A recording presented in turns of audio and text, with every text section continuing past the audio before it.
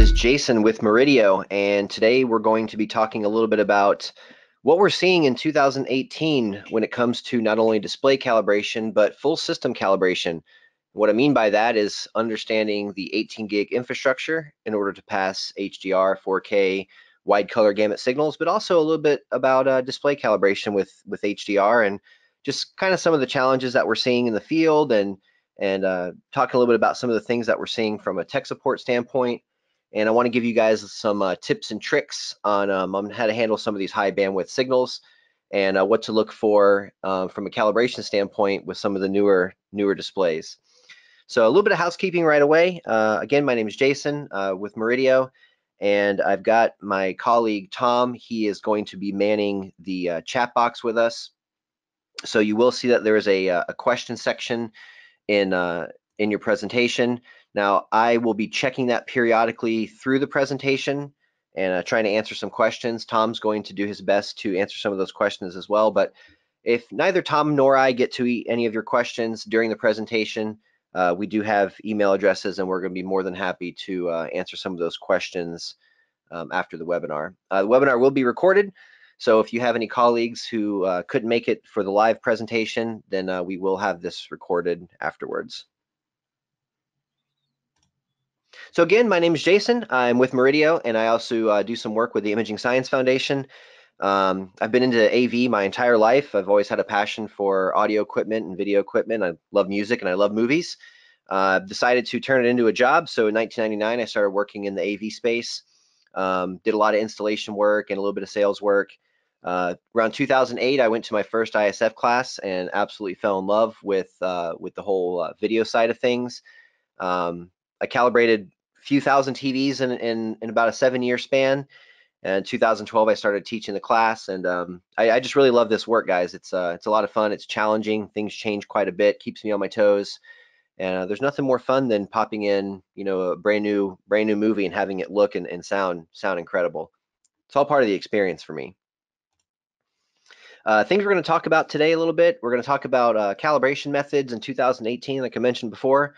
We're going to talk quite a bit about 18 gig infrastructure, making sure we're getting the right picture to the display that we're working on. Uh, we're going to talk a lot about different troubleshooting tools that we use uh, to uh, troubleshoot video systems and to make sure that we are getting the right picture out of each component and the right picture to the display. And uh, towards the end, we'll talk a little bit about calibrating um, HDR signals and HDR televisions and displays. That seems to be such a hot topic nowadays uh, because uh, you know we've just uh, just started really getting into calibrating HDR, and there's, there's a lot of questions. There's new methods uh, for people who've been calibrating, you know, for a couple years at least. Uh, you will learn some new things when when it comes to calibrating HDR. So how did we get here? Um, it's a great question. You know, we have um, uh, Murideo has a full tech support department, and we take calls every day on. You know, I've got an I've got a uh, 4K Blu-ray player. I've got a 4K movie in there, but I can't get 4K to the display. The display is not going into the 4K HDR mode.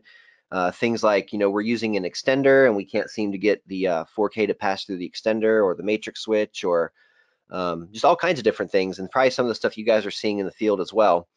Uh, so like I said, I want to give you some tips and tricks on how to work around uh, and how to work with 18 gig infrastructure and how to work around uh, legacy systems. So let's say, for example, you have a system that's already installed in a home or in a business and they don't have an 18 gig infrastructure. Can we still get 4K and HDR signals to the display? Sure we can. And uh, again, we'll talk about some tips and tricks on how to make 4K and HDR work in legacy systems as well. So a couple of things about 4K, uh, just right off the bat. Um, there's, uh, like I said before, there's a lot of angst and anxiety around 4K. Um, it's new, it's it's brand new to a lot of people, and um, you know, dealing with these high bandwidth signals, it's not just kind of plug and play like it always has been. Uh, you do have to worry about uh, configuring components and configuring the display and configuring inputs, and things like firmware updates are super critical. Um, if anyone remembers back in the day when 3D TVs and, and things were new, there was a movie Avatar that would not play on a lot of uh, Blu-ray players until the Blu-ray player was updated, and we're seeing that more and more now with with HDR as well. So doing things like firmware updates are super critical. Um, that's usually the first thing I do when I come into a system is make sure everything's firmware updated. Um, we also want to make sure we are managing our EDIDs. Um, you know, if there's an EDID mismatch between a display and a component, Uh, we could have no 4K, we could have no HDR, we could have no signal, we could have no sound, all kinds of different things. So uh, EDID management is very critical these days. Um, every component might need to be calibrated. It's not just about getting the display set up correctly and getting the um, getting the, uh, the, getting the infrastructure and getting the individual components calibrated is is important as well. That brings up a good question. Where do you start? I mean, if you have a system that consists of a display and a receiver and a Blu-ray player, which one do you calibrate first, and, and how should you do that? Um, we're going to talk a little bit about calibrating, um, you know, one source to uh, one TV. That's usually a simple setup, but then we'll talk a little bit more, more complex setups as well. So just an example of simple versus complex systems. This is stuff that we're seeing constantly. Uh, a simple system might be something like a 4K Apple TV to a 4K TV. That's easy. Uh, a couple of configure, a couple different things you have to do for configuration, um, but not a big deal you start looking down the list and you get to the uh, number seven, number six, and number seven on the list, you start talking about things like multiple resolutions to uh, 4K and 2K TVs.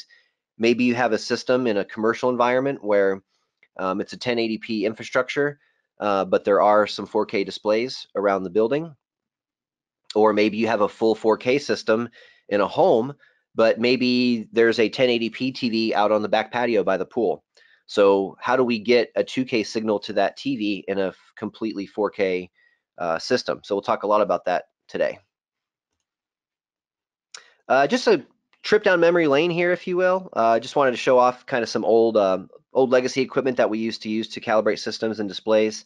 Uh, in the middle, we have an old Sencore video generator. Uh, this was the uh, this was the generator to have. It was fantastic in its day. Uh, what you see on the left side of the screen is an old uh, display calibration kit made by Philips. That was about a $10,000 kit in its day. There's a signal generator on the left side of that picture and a uh, light uh, a light meter on the right side of that picture. And then on the far right side of the screen is just an old um, old Color Pro 5 Sencore colorimeter. And these are the things that we used to use on a daily basis to uh, to troubleshoot video signals and infrastructure and to calibrate some displays. Then what we're dealing in 2018 are completely new tools. Uh, what you see on the left side of the screen in that example in the bottom is a Murideo 6G generator, which we're going to talk a lot about today. Uh, that's a complete um, complete package when it comes to uh, 4K signals and HDR signals, even Dolby Vision, things like that. Uh, sort of in the middle of that picture, there's um, there's a few different examples of some of the newer meters that we use to calibrate displays. Uh, on the right side, you see another signal generator, the Video Forge Pro, uh, which is another one that's available. Um, and then uh, the SpectraCal C6 light meter. So these are just some of the newer tools that we need for some of the newer displays. And you know, we need tools that can allow us to troubleshoot 18 gig signals. We need meters that can read up to uh, eventually 10,000 nits if we're calibrating displays. So just a few examples there of um, of some of the newer equipment that we're using. And uh, I did mention in the slide too, uh, we are going to talk a little bit uh, later in the presentation about some different test patterns that we use to calibrate HDR and Dolby Vision. So first thing we'll talk about are some devices that we use to calibrate displays. Um, what you see typically in a normal calibration kit are some different light meters. Like for example, there's an i1 Pro 2 and a Klein K10. Down here, this blue box is a, it's called a JETI. Uh, then on the right, we have the SpectraCal C6. And there is a difference between some of these meters. Some of them are called spectral devices. Some of them are called colorimeters. And they both have their advantages. Um, there's pros and cons of each. Uh, spectral devices, for example, are very accurate, but sometimes they tend to be a little slow, especially if you're calibrating a projector and you're reading lower levels such as you know 5 IRE and 10 IRE and doing things like grayscale and white balance. Uh, those devices can be very accurate, but sometimes they're not as fast. And then you have some colorimeters that are just the opposite. They're really fast, but they're not as accurate. Now, you might be asking yourself, well, how can I get both? I want fast and accurate when I calibrate my displays, and that's a that's a very valid question. Uh, you can be very fast and very accurate. It's just really expensive. But what if you could take a moderately priced meter and a moderately priced spectral device and use both? And you can do that. Uh, you can do that these days. You can use both meters. You can profile them together, then you get the best of both worlds. You get the speed of the colorimeter, you get the accuracy of the spectral device, and everybody seems to be happy. Um, things that you've maybe seen in the past in your calibration kits. Um, and you see this sometimes. Uh, if you buy, if you've ever bought like a calibration DVD before or Blu-ray disc before, they tend to come with uh, like a blue filter that you physically hold over your eyes when you're adjusting things like color and tint. Uh, those are old tools, guys. Those were great for CRT displays. They don't work so well for things like OLED and LED backlit LCDs. As far as recalibration goes, should you recalibrate your calibration equipment? Absolutely. Uh, colorimeters especially, they do tend to drift over time. So keeping your gear up to date is just as important as keeping your displays up to date. Now, as far as uh, signal analyzers and generators go, there's a couple of examples from Murideo that you see on the page here. And the whole point of this is to teach you that for uh, troubleshooting current systems, you need current tools.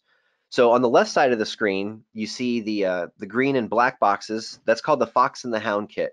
Uh, comes with a signal generator that you see on the left side of the screen, and there's a signal analyzer that you see on the right side of the picture. So on, on this particular kit, let's say that you were troubleshooting a video system in a residential environment where all of the equipment was in a rack down in the basement, but you're trying to troubleshoot a display up in the bedroom. So instead of running up and down the stairs, you can hook up the generator analyzer on each end of the system and you could look at the analyzer and see exactly what the signal is that's coming through the system, whether it's 4K or 1080p, whether it's 30 or 60 frames per second, or whatever the case is. This kit will do will do that for you. Um, on the right side of the screen, you'll see the Murideo 6A and 6G kit. Now there is a difference between these two kits.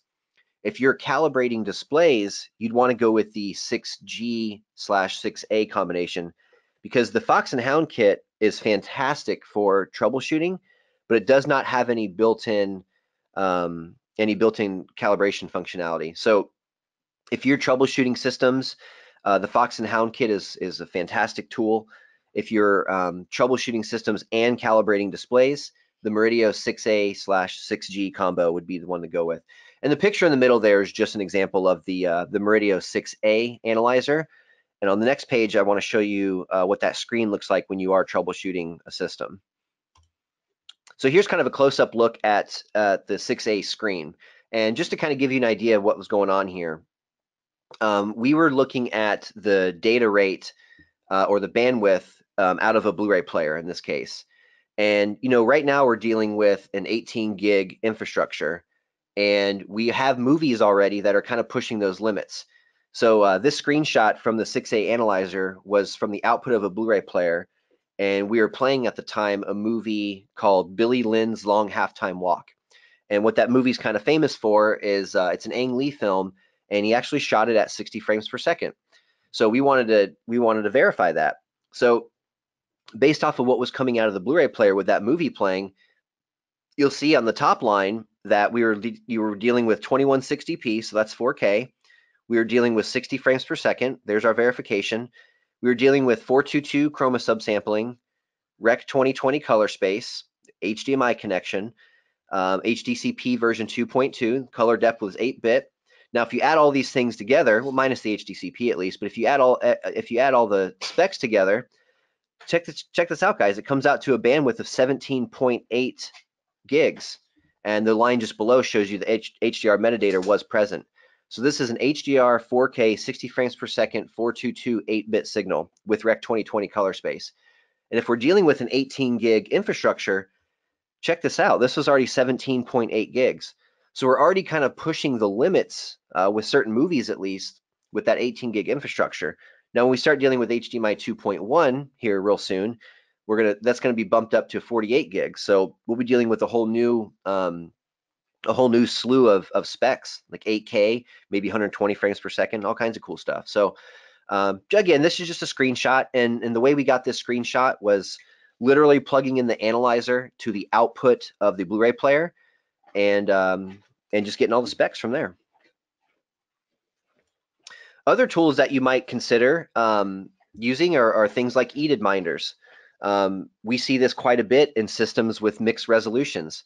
So let's go back to that example that we talked about before, where you might have a 4K uh, video system, but there's one 1080p TV up in the master bedroom or up outside by the pool or something like that. How do we get 1080p to that TV, but 4K to all the other TVs that are throughout the house? So you might use something like a scaler or an EDID minder to uh, to make that one display 1080p.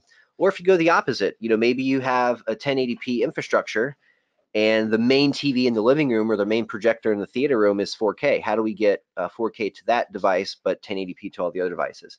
And things like these EDID managers and EDID minders and scalers will will help you in those situations. Uh, something else that's really helped me um, help me in, in some older systems are things like a distribution amplifier. You see it listed here as a DA. Um, and the the situation that I ran into was the um, it was a residential environment, and the the homeowner had a, brand new 4K TV, and he had a brand new 4K Blu-ray player. He'd also custom built a 4K uh, desktop computer that was part of the rack. Uh, the problem was, after a little bit of troubleshooting, we figured out that the receiver, the AVR, um, you know, that was handling all the audio and video signals. Well, unfortunately, the AVR was a couple of years old and it was non-compliant. It would not pass the 4K HDR signal. So you really have to make a choice here, right? I mean, do I do I run all my video signals to the television and bypass the AVR for sound? I could use optical for sound, but I'm not going to get things like Dolby True HD and all my high resolution audio formats. The other thing I could do is run all my HDMI uh, components. I'm sorry, run all my HDMI uh, signals to the to the receiver, and then one output from the receiver to the TV. Now I'll have my high resolution sound formats, but because the receiver can't pass 4K HDR signals, I'm not going to get 4K HDR to the display. Well, what if there was a, what if there's something you could do to get both? What if you could get 4K HDR signal to the display, and you could also get high resolution sound through the receiver? There is a way to do that, and that's with a distribution amplifier. There's no need to sacrifice picture or sound. You can get the best of both worlds. So here's how this system ended up um, ended up looking at the end of the day. You'll notice that we have the AVR right in the middle of the screen. Uh, the TV is is on the right side of the screen, and all of the devices are in a on a rack. That's on the left side of the screen. So you'll see that there was a set-top box, you know, aka a cable box. Uh, he did have a, a, streaming device. There was a 4K PC in the mix that he had custom built, and there was a 4K UHD Blu-ray player. Now you'll notice there's a couple of little black boxes right here, and those are the distribution amplifiers, and they work as one input, two output. And in this particular case, these distribution amplifiers were fully compliant with 18 gig signals. So if you look at what we ended up doing here, the set-top box wasn't 4K, so we weren't really too worried about that. So the set-top box still went to the receiver and eventually came out of the receiver into the television. But look at what we had to do with the streaming device and the 4K PC. Because these only had one HDMI output, we had to throw in this distribution amplifier in the mix, and that split that HDMI signal off into two signals. So one signal could go straight to the TV to preserve the 4K HDR. One signal could go straight to the uh, AVR, and that would preserve all the HDMI, you know, high bandwidth audio formats. Rinse and repeat for the 4K uh, desktop computer, so you get the same thing there. Now, in this particular case, the 4K Blu-ray player, you got kind of lucky here. Uh, that one already had two HDMI outputs. So one was straight to the receiver for sound, one was straight to the TV for uh, for 4K HDR signals. Now, if you notice what's going on here is, you know, we we did have to reconfigure the system quite a bit, and there maybe had to be a little bit of reprogramming to his uh, custom remote control. But because the system was set up like this for fairly, you know, not a lot of money at all, we were able to preserve the 4K HDR signals for picture, and we were able to uh, preserve the 18 gig, I'm sorry, the um, the high resolution uh, sound formats for for the receiver as well. Now, you know, you have a couple options here. These uh, these distribution amplifiers are not terribly expensive. You know, one option would have been to replace the AVR with something that was HDR and 4K compliant. But in this particular case, this was a very high-end, very expensive receiver and the customer loved the way it sounded and he didn't want to go out and spend another five grand on another you know high-end receiver. So this was kind of a good workaround that was budget friendly budget conscious uh, but also performance conscious as well. We got the best of both worlds with picture and sound and a uh, little bit of uh, reconfiguration in the system but overall money wise to buy a few more hdmi cables and to buy these distribution amplifiers wasn't terribly ex expensive at all. What about HDMI cables? Um, you know, we saw this a few years ago when we were dealing with 3D signals. Um, you know, you, you would need higher bandwidth HDMI cables to get 3D to play through the system. So, you know, maybe you bought that brand new Avatar movie on 3D and put it in your 3D Blu-ray player. And because your HDMI cables were a bit older, that high bandwidth 3D signal couldn't pass and you had no picture or you had no 3D, for example. And we're kind of seeing that again. You know, now we're dealing with even higher bandwidth at 18 gigs. And again, like you saw from that screenshot from the 6A before, you know, we're already pushing that bandwidth. We're already pushing it. So if you have some cables that are a bit longer or uh, or installed in such a way that um, you know maybe maybe there's there's a distance issue, maybe you're dealing with a 50 foot HDMI cable. Um, those don't always work well in 18 gig systems. You know that's a lot of bandwidth to travel 30, 40, 50 feet. So you know even when you're when you're building a system and you're designing the system, you have to consider the HDMI cables as well. And what we're seeing now are some 18 gig um, copper HDMI cables, just like traditional HDMI cables. And those, in my experience at least, work pretty well up to about 15, 20 feet or so in most cases. Uh, for longer distances, we're starting to see some um, active optical HDMI cables, which work really well. The actual video signal is traveling down an optical path in this hybrid HDMI cable, whereas things like hot plug and, and HDCP are still traveling over copper. So really cool hybrid cable. We've seen those uh, more and more today. Uh, we're starting to see some uh, very reliable, very good 18 gig um, HDMI extenders or Baluns. Um, those can be connected nowadays with a, a, typical, you know, Cat5 or Cat6 LAN or Ethernet cable. Uh, we're also starting to see some 18 gig HDMI extenders that actually use fiber in between the transmitter and the receiver. So you're talking much more bandwidth and things like, um, you know, not having to worry about um, electromagnetic interference. You know, it, you could potentially run a fiber optic cable next to a, um, you know, next to a power cable, for example, and not have to worry about um, you know messing up the audio signal. Um, and when you're going through an extender, you have to think also too about about the system being compressed. And with most extenders, with all the extenders I can think of at least, when you're when you're doing an 18 gig um, signal over a say an Ethernet cable, um, the systems do have the signals do have to be compressed a little bit. So just be aware of that. Not a big deal really at the end of the day. Um, you know, just something to know and something to be aware of. Now, what you can do with something like the Murideo 6A and 6G is uh, this is a very helpful tool for before the system goes in. So, you know, if you're specking out a system or installing a system and you're dealing with multiple long HDMI runs, you know, why not? It, it would be a, a very heartbreaking thing to happen if you found out that after the 30 foot HDMI cable was installed, you know, throughout the walls and whatnot, come to find out that that HDMI cable is no good or it can't pass an 18 gig signal. Why not find that stuff out before you install the install the HDMI cables? So what you can do with the Murideo 6A and 6G or the Fox and the Hound is you can do what we call a cable test. Um, it's very simple. Uh, the output of the um, 6G generator, you connect your HDMI cable there. The other end of the HDMI cable would connect to the input of the 6A analyzer. And within the 6A analyzer, you flip through the menu and there's a, um, a sub menu called cable test. You push OK and you'll see some data up on the screen. Now on the left side in this example that you're looking at right now, uh, you kind of see an example of a bad cable. So you'll notice on the top line, there's a five volt hot plug and that, that communication did actually happen. So the cable was passing something. Um, when it came to the different data channels, whether it was uh, you know 9 gig, 14 gig, 18 gig, whatever, notice how there were zero errors. That's a good sign. The DDC passed and the uh, hot plug detect that also passed. So the left example, uh, I think I may have confused this a moment ago and said that this was an example of bad. This is actually an example of good.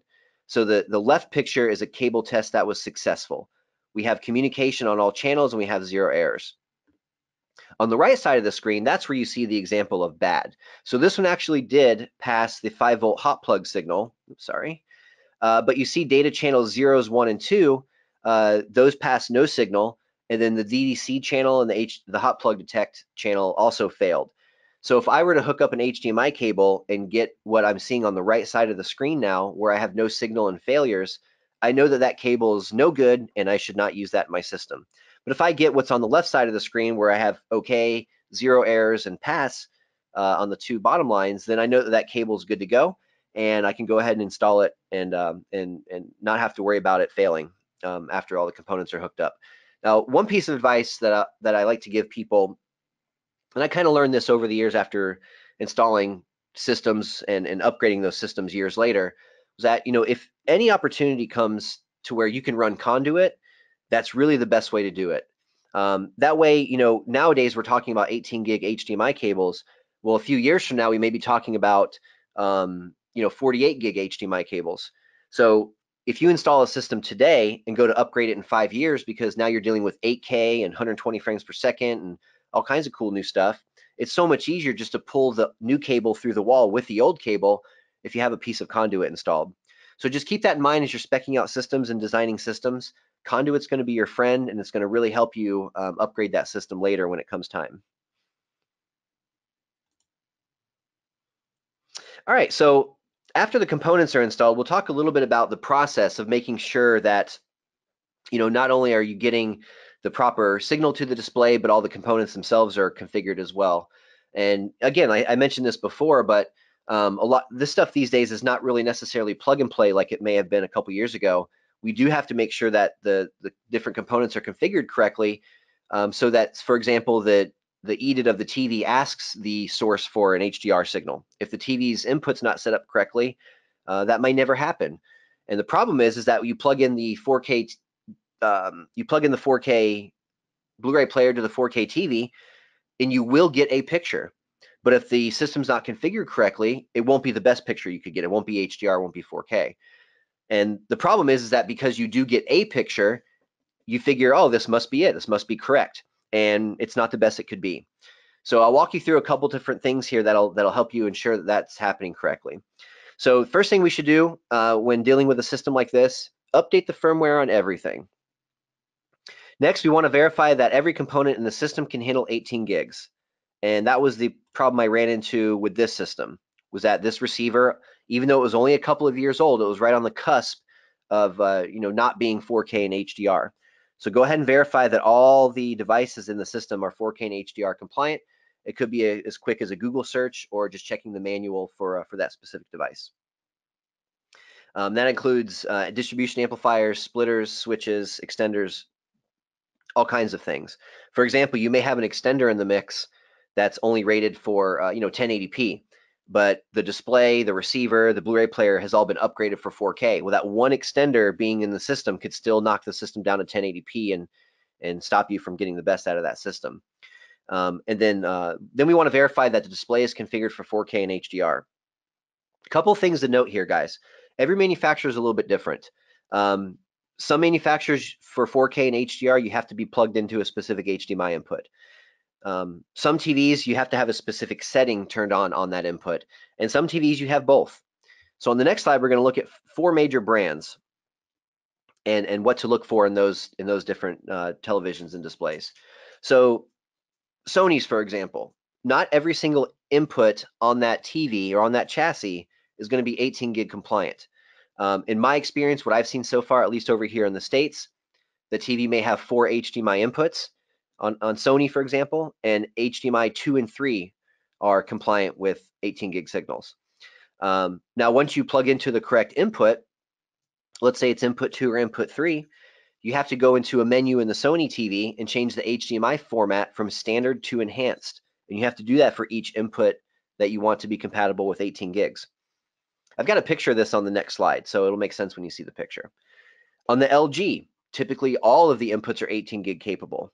But if you don't go into the general settings of the LG menu and turn on the HDMI deep color, then again, the TV's EDID will never ask the source for HDR and you'll never see it.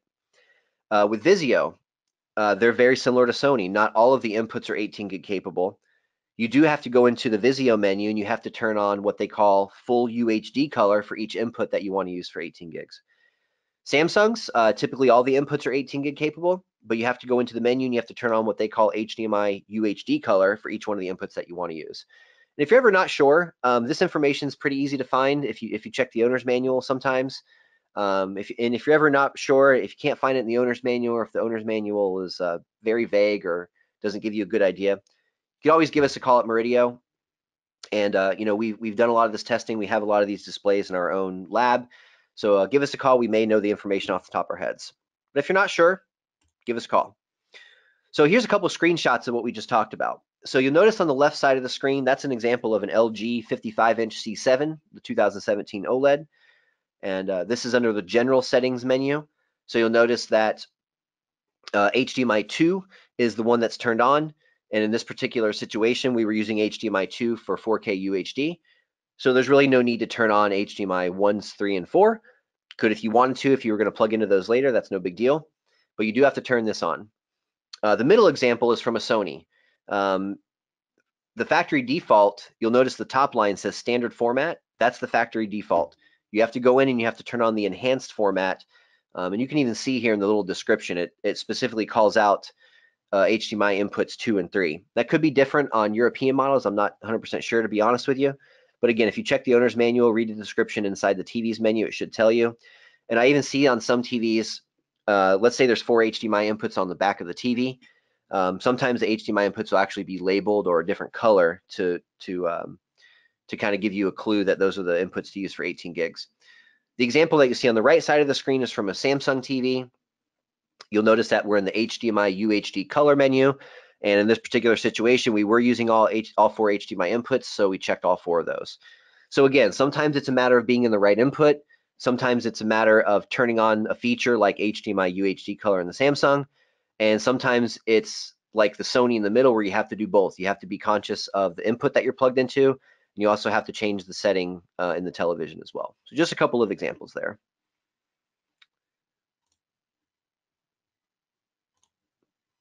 Okay. So in a system that you're going to be calibrating, we talked earlier about there may be you know several different components in the system and you're there to calibrate the system and you know you may ask yourself okay well where do i start? You know i've got six or seven components i have to worry about. Which one do i do first? Which one do i do last? That's a good question. Um, and what i've seen in my experience uh, for, for the last 10 years is um, I, I typically will calibrate the display first, bypassing the receiver, bypassing the components. My Murideo 6G generators plug directly into the display. Um, once the generator is hooked up to the display, you can go ahead and hook up your uh, your light meter or light meters if you're do doing some profiling. Um, you want to go ahead and position those light meters in the correct position on the display and um, then you can go ahead and, and use your software, maybe it's CalMan or Light Illusion or whatever you like to use, and you're ready to set up, uh, I'm sorry, you're ready to calibrate the display. Um, a couple of things just to kind of point out here. Uh, you'll notice on the left side of the screen that that first example, that first picture, um, that shows you the setup of a i1 Pro 2 spectral device, uh, which I was using that to profile the SpectraCal C6 that you see on the left side of, the, of that picture. Um, and then once the C6 was profiled, I could take the i1 Pro 2, put it back in my in its case, and not have to worry about it for the rest of that job. And I could just use the C6 from there. What you see in the middle picture is kind of the same. That's just the setup on a flat panel. You'll notice on the flat panel that the meters are kind of right next to each other and they're right in the middle of the screen. Uh, on the left picture for, for projector, you'll notice that the two meters are on a tripod and uh, they're about you know four to six inches from the screen, facing the screen. And you'll notice too that they're uh, they're at a slight angle, maybe a 30 or 40, 45 degree angle there or so. If you if you have those meters positioned to where they're perfectly perpendicular with the screen, the problem is is now you have a projector shining light onto the meter, and that's going to cast a shadow onto the screen, and you end up reading the shadow, and your readings are inaccurate or all over the place. So if you are setting up for a projector, um, like I said, get those meters a couple inches, few inches, like I said, about six to eight or so inches away from the screen. Make sure the meter is facing the screen because the screen is part of the system and um, about a 45 degree angle or so should do it. Again, the middle picture for the flat panels, um, you know, they can be next to each other. That's no big deal. And uh, what you see on the right side of the screen is a, a Klein K10. That was after it had been profiled to an i1 Pro 2. The i1 Pro 2 had gone back into its case, and for the rest of that job, just using the Klein K10 on a tripod. And we're not going to talk too much about calibrating SDR just because uh, that's not really the purpose of this webinar. And plus, we've been doing SDR calibration now for, you know, since the 90s, and I think we pretty much got it figured out at this point. But we will talk quite a bit about HDR. So once you calibrate the the SDR, the standard dynamic range side of the TV, uh, you do have to calibrate the HDR side of the TV separately. And when I say side of the TV, it's just something I've kind of said now over the past couple years. But what I mean by that is you're almost doing two calibrations for one TV nowadays because you calibrate the standard dynamic range, then you calibrate the high dynamic range. And what you'll notice with a lot of TVs is when you're feeding the TV a normal 1080p standard dynamic range signal, you'll see all your different picture modes that you've seen over the years and what you're used to, you know, vivid, standard, custom, expert, you know, one, expert two, whatever the case is. But when you feed the display an HDR signal, you'll have a whole new slew, a whole new choice uh, of different picture modes to pick from. So maybe you'll have HDR Vivid, HDR Custom, HDR Cinema. Those are just some examples. If you feed the TV a Dolby Vision signal, you may have a whole new set of presets and picture modes and settings. So you may have Dolby Vision Vivid, Dolby Vision Cinema, things like that. Um, some TVs are not like that. So some TVs you may have to use two different picture modes. So for example, um, on Sony's, you may use Cinema Home as your HDR calibration and HDR settings. You may use Cinema as your SDR, your 1080p signals and 1080p picture mode. Uh, and the user end user would have to change picture modes based off what they were watching in that case, but at least at least you can calibrate both modes. And in the other case I talked about before was uh, I was thinking about an LG TV where the LG TV does switch automatically to HDR or SDR based off the um, the signal you're feeding it, and the user doesn't have to do anything. And what you'll notice on any in any case for either method, when you do give the TV an HDR signal, in most cases you will see the T the TV will let you know you'll see in the upper right corner, for example, an HDR logo or a Dolby Vision logo. And that way you know that the TV is getting Dolby Vision. So either the picture mode will switch automatically for you, or you can grab the remote and switch the picture mode manually. It all depends on the TV, and like I said before, they're all a little bit different.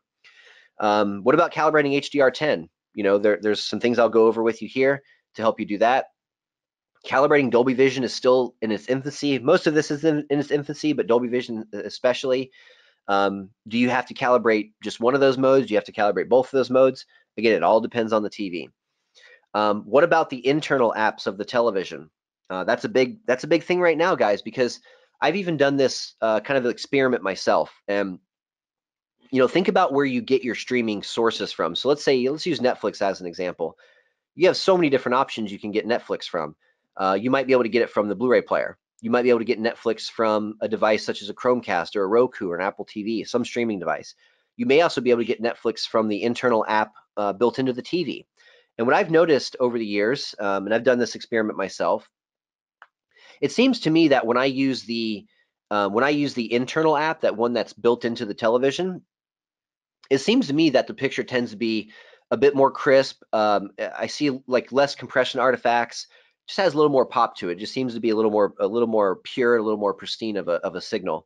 Uh, the noise is something that I can I'm very sensitive to for some reason, and I notice there's much less noise if I use the Netflix app built into the TV, for example. So how do you calibrate those internal apps, right? Because there's no way to hook up the 6G generator uh, to the internal, you know, processing into the internal apps of the TV. So I'll give you some tips on how to do that too. One thing to know about HDR calibration, it's all based on the display's capabilities. It's not relative like it was with standard dynamic range. So, um, you know, you may see a movie, and this is very common nowadays, but you, you see movies that are uh, mastered in HDR for 1,000 nits or 4,000 nits, and there's even a couple movies now that are mastered for 10,000 nits. Well, what if you have a display that can only reach about, I don't know, seven, 800 nits? What happens to all that data from 800 nits to 1,000 nits or 800 nits to 4000 nits. Well, the display manufacturers have a choice to make. They could either they could either show you all 4000 nits and those highlights and, and, and those, those details that you might see in like a bright cloud on a sunny day, those details are just completely lost. And nobody wants to do that. We want, we want a picture with a lot of detail in it. So in order to, pres to preserve those specular highlights, in order to preserve those really bright details in a, in a picture, the TV will do something called tone mapping. Now, the, the brightest details, if they're mastered at a thousand nits, they're obviously not going to be shown at a thousand nits because the TV can't do it, but those bright details will be shown at the brightest that the TV can show them. So maybe it's 800 nits because that's all the TV can do. the nice thing about that is all of the details in the picture and all of the data and metadata and stuff is preserved. So you are still seeing everything that you're supposed to see. It's just not as bright as it possibly could be. And eventually what we'll see uh, soon, I think, and this actually was displayed at CES in Las Vegas this year, um, there was a manufacturer that did have a 10,000 nit display. They were showing 10,000 nit content. So no extra processing had to happen, no tone mapping had to happen. And unfortunately, I didn't get to see this with my own eyes, but it's almost like listening to a full range speaker with no crossover that can actually do full range. So I bet it looked really cool. Um, and I think we'll start to see that soon. Um, you know, with the way that displays are going right now, you know, hitting a thousand nits and, and even 4,000 nits should be uh, fairly, I would think, easy in the next few years. So look out for that stuff.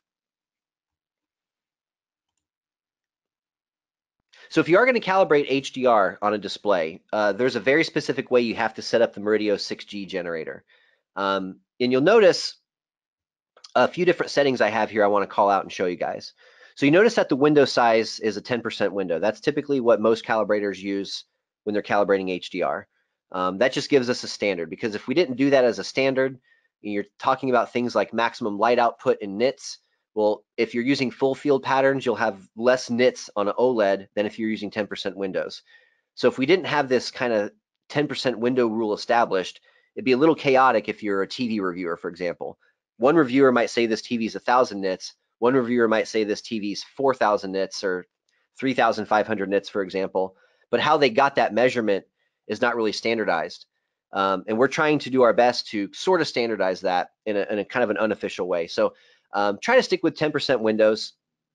You get more consistent readings that way. Um, it's it's not a bad idea to check things like OLEDs and plasmas with a full field just to check for things like uniformity and burn-in and stuff like that. Um, you can also, uh, you know, if you're looking at things like local dimming on an LCD, you can use full fields to kind of see, you know, check for uniformity. Actually calibrating, um, try to stick with those 10% windows. The other thing that you'll see too is that the resolution is set to 2160p. I just picked 24 frames per second because that's typically what most Hollywood movies are. The color format is RGB limited. The bit depth is set to 8. And I've gotten this question before, why not use 10-bit if those uh, some of those movies and some of those signals are 10-bit signals? Uh, it's a great question, and it does make sense.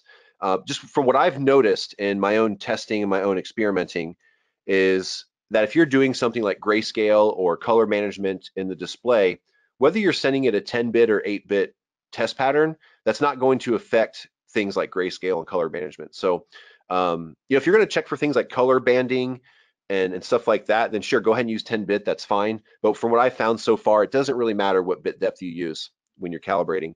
You'll notice that the HDR, there's a drop down screen here. Um, you can pick either HDR10 or Dolby Vision. So you want to, you want to, um, you know, pick the right one for the situation that you're in. And then uh, this is a new thing. This is this is something that uh, is, is, new to the calibration world and new to displays. We have something called EOTF, electro-optical transfer function. Uh, what we used to we used to kind of use this um, on standard dynamic range TVs as something that we called gamma. Um, gamma is all relative. It all depends on the room that you're in. Um, it all it all depends on where the customer is sitting. It all depends on room lighting. Um, everything everything matters in, in that sense. In EOTF, um, in HDR especially, it's not relative. Everything is fixed. So we want to make sure that we're tracking the EOTF correctly, just like we want to track the gamma correctly based on the room lighting. And the EOTF that we use for HDR is called ST2084. So go ahead and set that in your generator.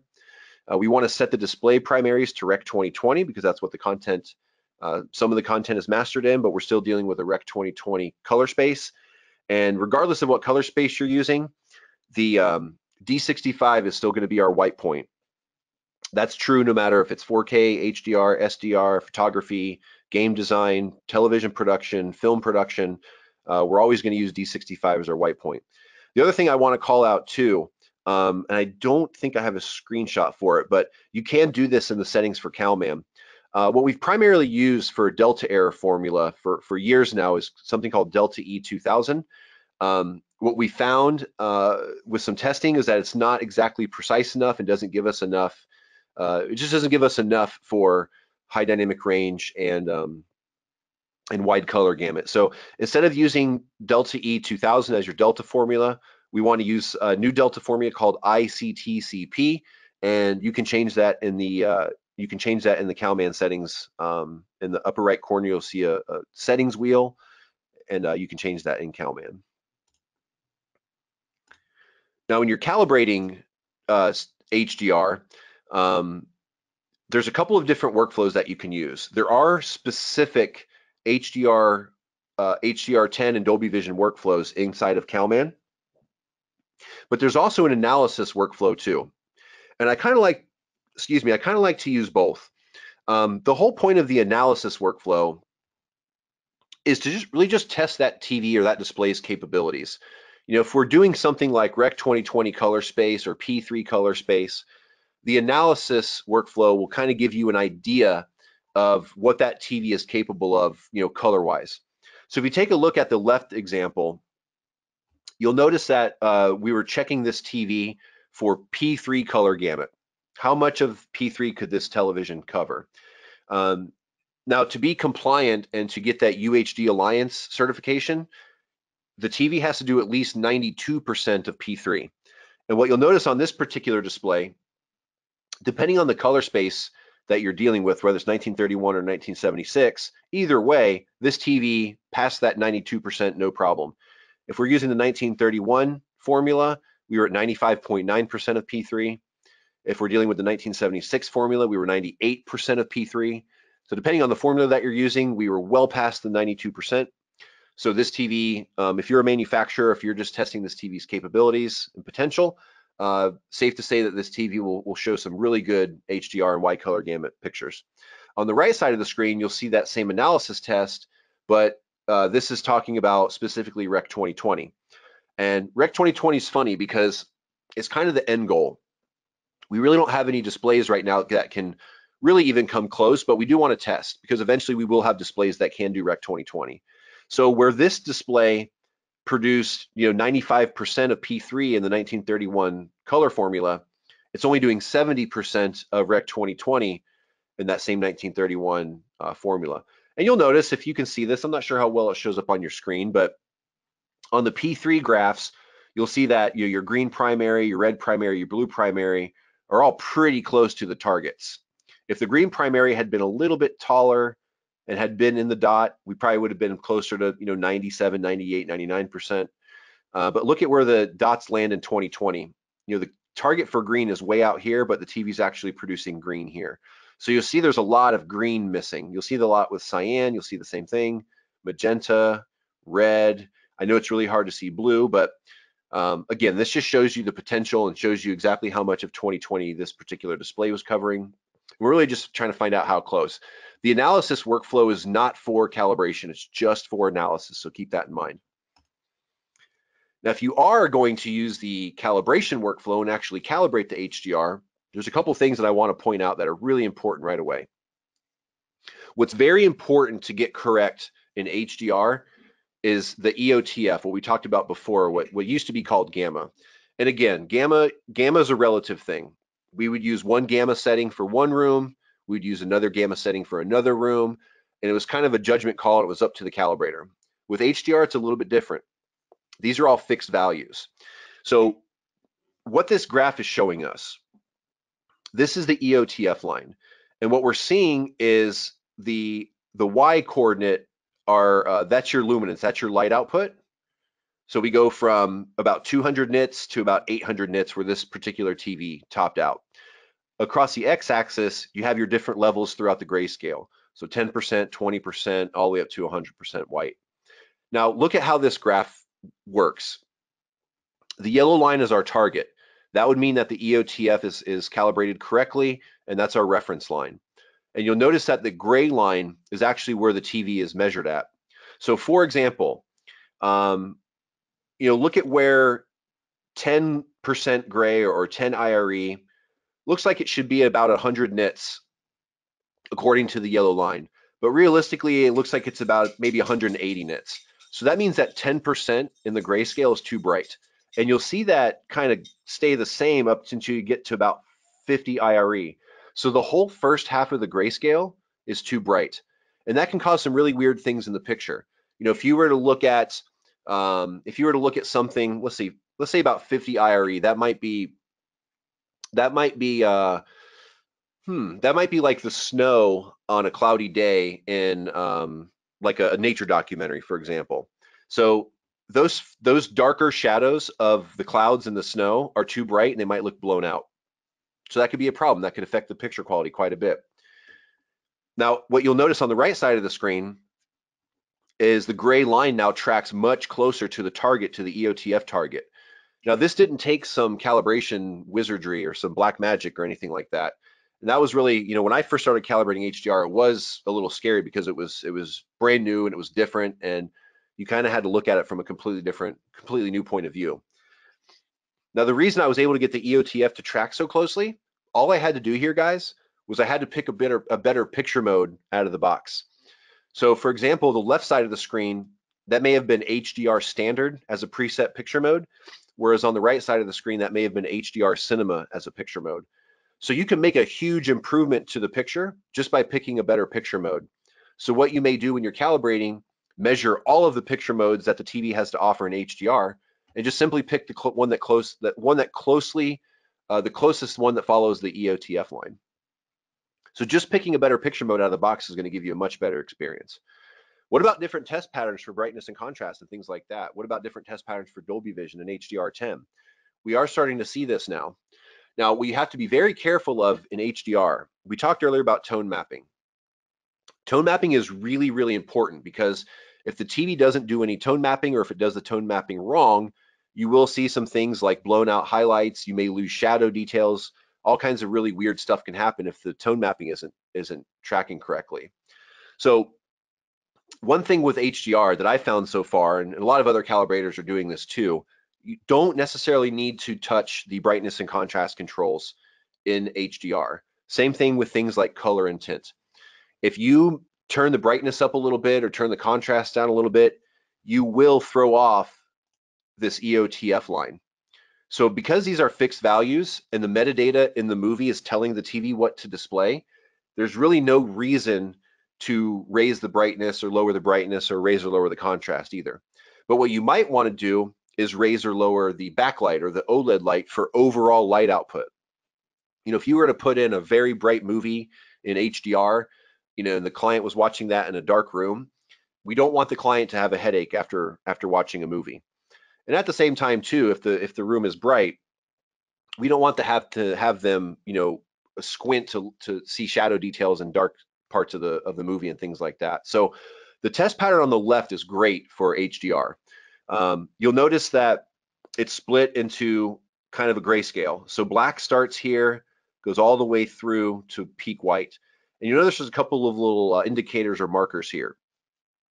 So you notice there's a yellow line here for black. So everything from the beginning where black starts to that yellow line should be black. And you should start to see some gray just after the yellow line.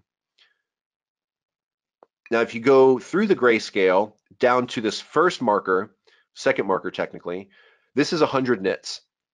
So what you want to do in this situation is aim your light meter to this gray circle in the middle of the test pattern. And you want to adjust your OLED light or your backlight in the display so that center circle reads 100 nits. That way you're not going to have to worry about making the picture too bright for somebody in a dark room, especially with HDR with, with as bright as some of these TVs can get with certain highlights like headlights on a car or a flashlight in a dark cave or something like that. Um, and as the, the grayscale continues on, you'll see there's another marker here for 500 nits. Um, there's another marker here for 1,000.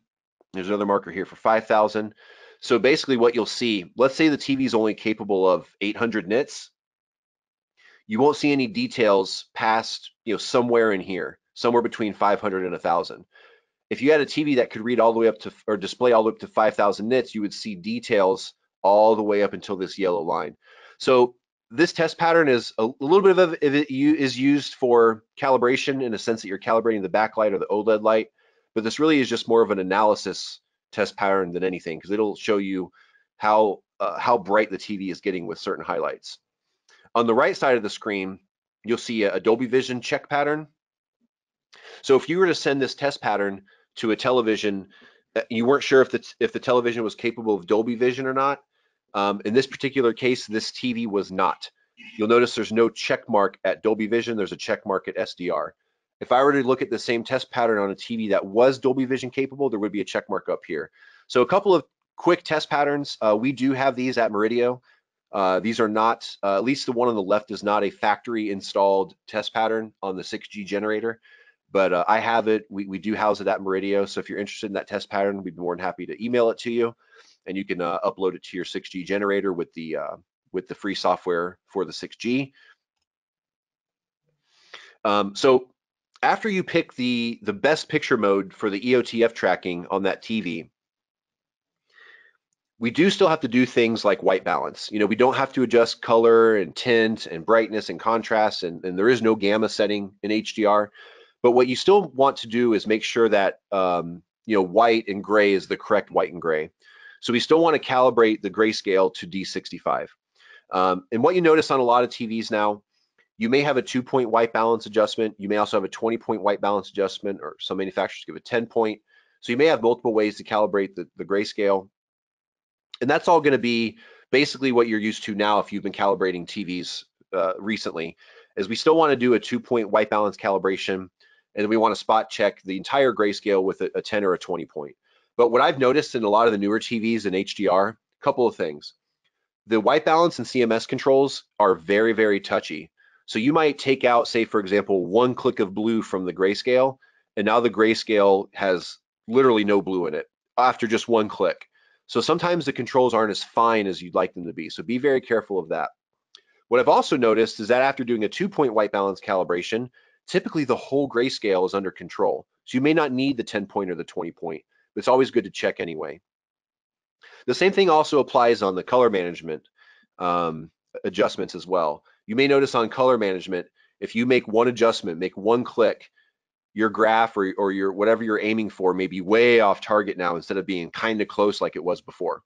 So just be very careful of these adjustments. Some of them can make major changes in what you're trying to do, um, but you still should be able to at least get a good grayscale. And what I found a lot of TVs in recent years anyway, is that if you do get a good grayscale calibration on that display, the primary and secondary colors tend to land in a pretty good spot. But some TVs don't even give us CMS or white balance controls in HDR anyway. So it's all going to be depending on the manufacturer and the display that you're working on. But if the display does give you full controls, um, you know, definitely, definitely white balance the HDR and that'll get rid of excess blue or green or red or, or whatever might be happening in that grayscale.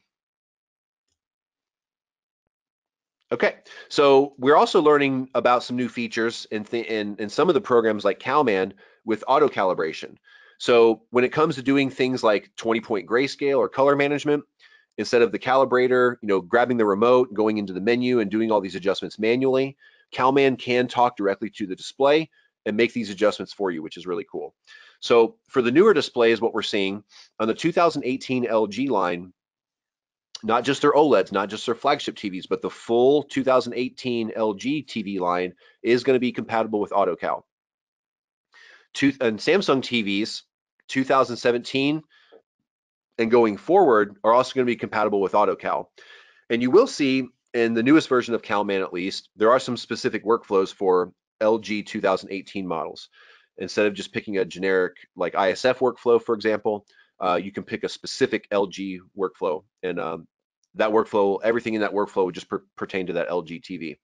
Uh, to the LG TVs, you will talk to that TV with CalMan via IP control. Um, I'm going to find out Friday. I'm, I'm, working on my first 2018 LG on Friday. Uh, rumor has it that you can do that over Wi-Fi. Um, I'm going to take uh, I'm going to take myself probably a 10 or 15 foot Ethernet cable just just to be safe because I may have to plug directly into the TV. Uh, it'd be really cool if it could happen over Wi-Fi, but we'll see. Um, for Samsung TVs, um, instead of communicating to the TV over IP, there are a couple of adapters that you need. Uh, I'm going to show you a picture of those on the next page, so don't worry about memorizing this at the moment. But the first adapter that you need is USB to serial. The second adapter that you need is serial to 3.5 millimeter. Looks like a little headphone jack. You combine those two adapters together for one big adapter. And what you want to do is with the adapter that you just made, one end is going to plug into your laptop. The other end, the 3.5 millimeter end, is going to plug into the EX Link connector on the Samsung One Connect box. So now that uh, CalMan software can talk directly to the Samsung TV, and I can do things like uh, automatic calibration of the grayscale and color management, and that does work both in SDR and HDR. Um, this will save you potentially time. It'll make the calibration a bit faster. So instead of um, you know instead of spending 20, 30 minutes on a 20 point white balance and really getting it nailed and, and really getting it perfect, um, the computer will take over, your laptop will take over, and CalMan will control the TV. It's really cool. So a couple pro tips uh, about calibrating HDR specifically. Um, this this took me a lot of trial and error to find out th this very simple thing, but the hardest part about calibrating HDR is getting HDR to the display and setting up the 6G correctly. If we're not getting HDR to the display, the display is never going to give us HDR picture modes, for example. So we got to make sure that's done first. We talked earlier about infrastructure and how to make that happen on all your jobs. Uh, we also have to make sure we're setting up the 6G correctly. If the 6G isn't configured for HDR, the TV will never trigger into HDR, and I can never access the HDR picture controls. So getting the HDR to the display, getting the 6G set up correctly, that's really the hardest part. Other than that, calibrating HDR, not a big deal. We're not really adjusting many things other than the grayscale and maybe the color management a little bit. Uh, for Dolby Vision calibration, on the 2017 LGs, you will need a USB thumb drive in order to calibrate Dolby Vision. Don't let it sound scary or confusing. Um, CalMan does walk you through the entire process. So basically, CalMan's going to figure out what those what that TV's capabilities are, and it's going to make a config file that you would transfer to a thumb drive.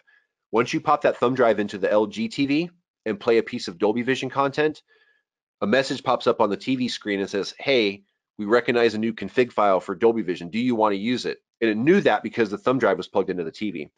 So you would tell the TV yes, um, the config file would load into the TV, and now the TV is calibrated for Dolby Vision. But again, don't let it sound scary. Uh, CalMan does walk you through it. Now, the nice thing is on the 2018 models, because CalMan can talk directly to the television, you don't have to do this whole thing with a thumb drive. It does it all for you automatically. It's really cool. Um, if you're calibrating an LG OLED, some things I found with some experience and the fact that I own this TV, a couple things that I found so far. Um, whether you're calibrating Dolby Vision or HDR, um, cinema seems to be the mode that gives us the most accurate EOTF tracking, uh, the most accurate colors, the most accurate grayscale, just right out of the box. You will notice that Cinema Home is a little bit brighter, but because of the way the EOTF tracks, you will lose some bright details. Again, like a cloud in the sky might be blown out instead of seeing all the details in that cloud. Uh, but Cinema Home is brighter. So if you're dealing with a bright living room or maybe have somebody who lives on a, on a, on a in a, in a you know condo with giant windows, you may want to consider using Cinema Home as kind of your day mode for HDR. Um, I mentioned this before, Sony doesn't have separate picture modes for HDR, so you might want to consider using uh, Expert 1 for SDR and Expert 2 for HDR, for example. Any combination that's that's good for you works, whatever works for you is best.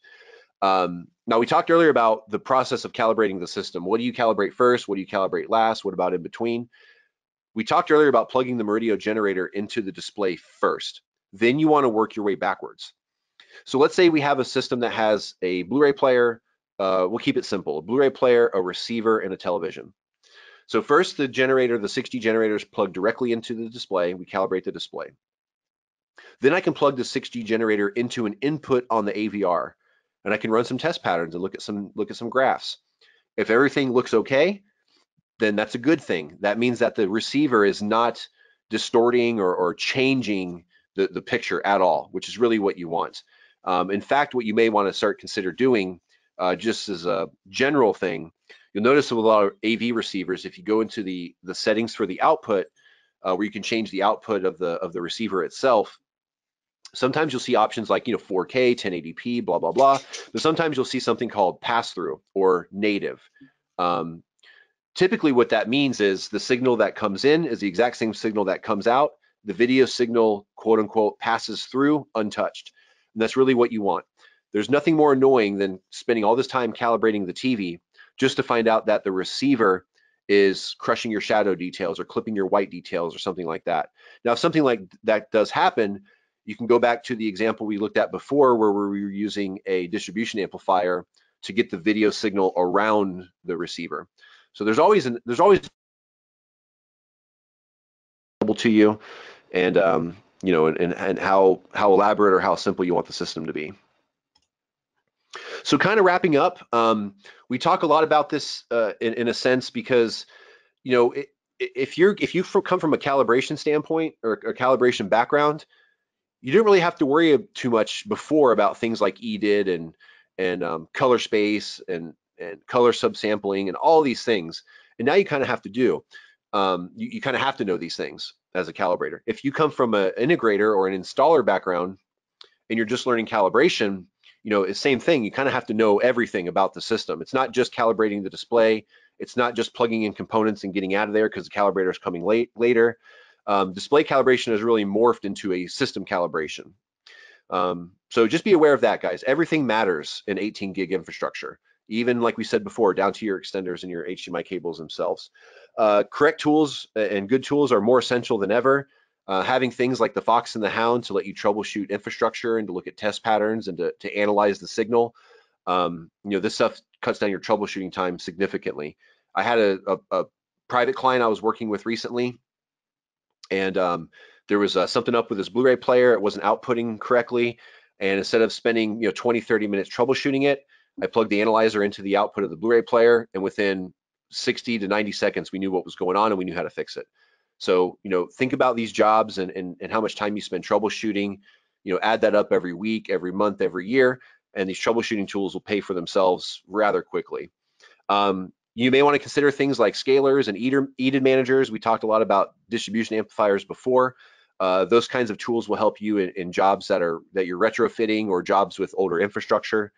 Um, again, I'll, I'll, say this repeatedly that everything matters in the 18 gig infrastructure, even even down your HDMI cables.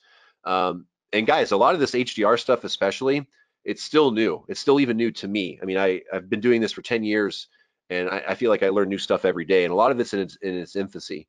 And you know, it, it if you've been around this business for a while, you start to notice that some of this stuff is cyclical. It, it all goes in a big circle.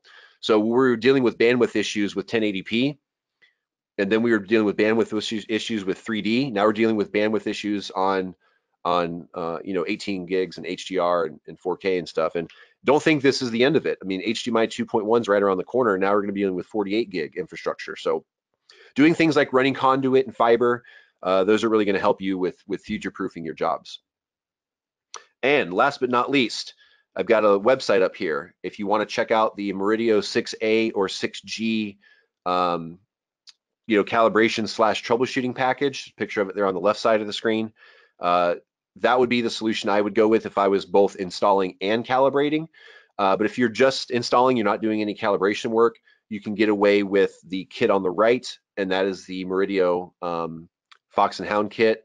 Uh, great little kit. Those tools are, are, very easy to hold in your hand. They're very lightweight, rechargeable batteries, so you don't have to have them plugged in all the time. Easy to read, easy to use buttons right on the front. Um, and for any support that you guys uh, would ever need, um, whether you have questions about the product itself or, or if you're troubleshooting a system and, and, you want to learn how to use the tools um, to their full potential, uh, we're always here for you. Um, you could always reach us at um, at Murideo. Um, if you'd like to email me directly at any point, my email address is jason at avproglobal.com. But if you give us a call, anybody would be happy to help you. So that wraps up the, um, the webinar for today. Thank you guys for being here. Um, I don't see any questions right away in the question box, but um, if any do come up, if Tom points out any to me, I'll email you guys individually and answer those questions for you. So uh, thanks again. Enjoy the rest of your day and let us know how we can help. Thanks.